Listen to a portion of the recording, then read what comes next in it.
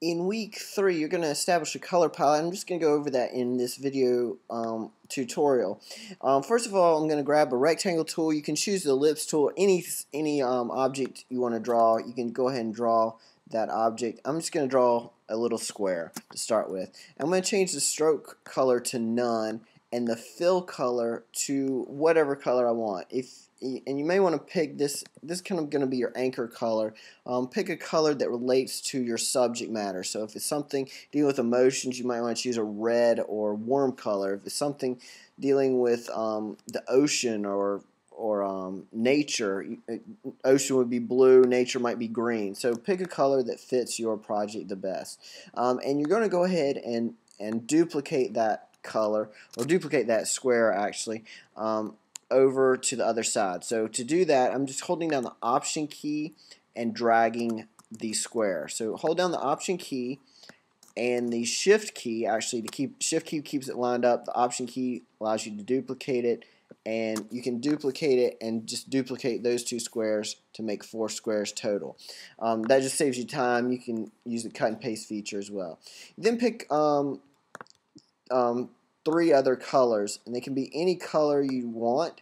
Again I would recommend choosing colors that fit your project. If you want um, some advice on choosing colors this is what I recommend. Go to window color guide and this gives you some choices to choose from. If you have that start color let's say green First of all, I'm going to click on my object that has the green in it, and then it gives me this little green square. Click on the green square, and you'll see that all of the settings change to match that green. Now I can choose complementary colors that complement that color green, um, colors that are in the left complement group, right complement group, analogous group, there's two analogous groups actually, monochromatic group, and so on. So these are preset settings in Illustrator, which is a very nice feature if you don't want to have to guess in picking out colors that go along with the color that you start with. So depends on what you're doing again, you might want to choose um, a different color scheme to fit this project. I'm going to choose Tetrad 2 um, to go with my green. Um, so I'm going to select, instead of this red, I'm going to choose a different color green. Instead of this orange, I'm going to pick that red, pink color. And then last, I'm going to pick kind of a yellow, mustard, brown color. So that can give me my colors to start with. Um, actually, I'm going to pick the blue, purple in there as well. So that gives me some colors to start with. They are already grouped in a group, but I, I'm going to build off of those even further for this project. Um, to do the next step, I'm going to select my bl blend tool. Shortcut key to get to the blend tool is W. So just hit W on the keyboard, you'll get your blend tool. Double click the blend tool and we're going to change the settings first. The default is smooth color. I'm going to choose specified steps and I'm going to type in there three specified steps. You don't have to change the orientation, just hit OK. So specified steps three and now with the blend tool still selected, I'm going to click on the first rectangle or first square that I drew, that green, go to the second green, click on the second green.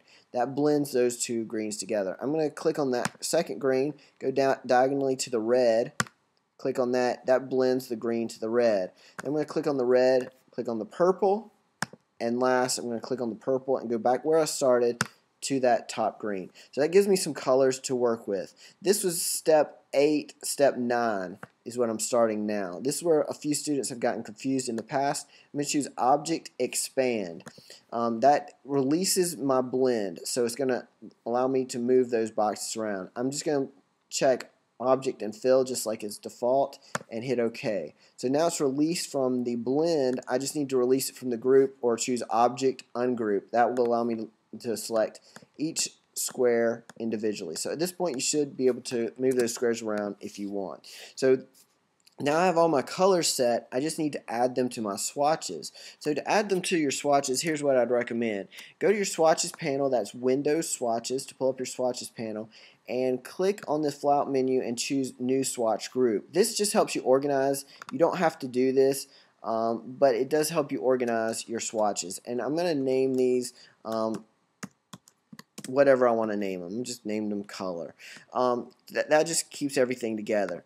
Now this is step 10. This is where a few students have occasionally gotten confused. You're going to go to the eyedropper tool. There's several ways to do this. I'm going to do it a couple different ways to show you the variety. Um, eyedropper tool, click on that first square, or I'm going to click on the bottom square first, and then when you see the color down here at the bottom is purple, if I click on that top square, it changes to that green. So that is that green fill. I can drag that fill color from my tools panel to that little folder icon. Just drag it straight from that fill color to the icon, and you have your uh, first color set. I'm going to click on the second color and drag the fill to the folder. Click on the third, drag the fill to the folder, and so on. So I'll just go to through those to build my color palette. Um, you can also click on the next square. You can go to window color and you have the same thing in your color panel. Um, so click on again with eyedropper, click on your square. It changes the color fill and you can drag that from the color panel straight down. I think that's a little easier just because you can move the color panel around. It's a little closer, um, but it's really up to personal preference. So click on those, drag them to your color um, setting. The other way to do that is to choose your selection tool and click on whatever object you want to click on and it will change your color as well. So you see my fill colors changes. You can drag it from down here or I can drag it from the color panel down. So you just do that for every color that you have and before you know it you'll have all the colors set and you'll have your own um, color settings um, built right here in the swatches panel.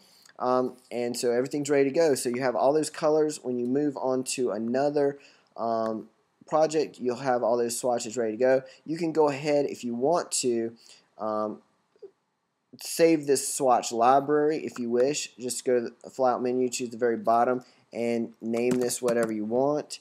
Um, and save it wherever you want. But remember where you save it um, because it will it will save um, as a little file like this. So you'll see that it's saved as an SCC file. So um, just remember where you save it, that way you can load it in the future.